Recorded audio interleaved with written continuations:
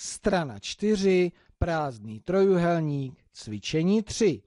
Přečteme si zadání. Napiš větší, menší rovná se. Máme zde čísla, která máme mezi sebou porovnat.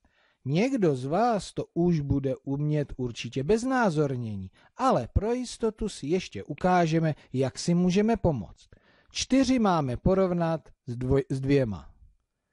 Můžu si nakreslit kolečka, čtyři, dvě kolečka, plná a teď to dáme do dvojic, tady ty nám zbyly, těch je víc, takže čtyři je větší než dvě, znamenko otevřu tak, aby bylo více otevřené k tomu číslu, které znamená více. Čtyři je větší než dva.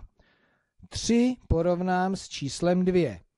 Nechce se vám malovat, tak si vemte do počítadlo. A z dopočítadla si vemte jednotkové pásky. A vyndejte si. Pásek 3, co jsou tam takhle? Tři políčka.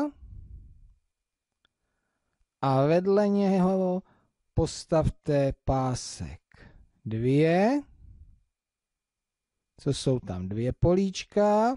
No a když to takhle dáte, pěkně to srovnáte na začátku stejně, tak vám jedno ukáže, že je větší než to druhé. 3 je větší než 2.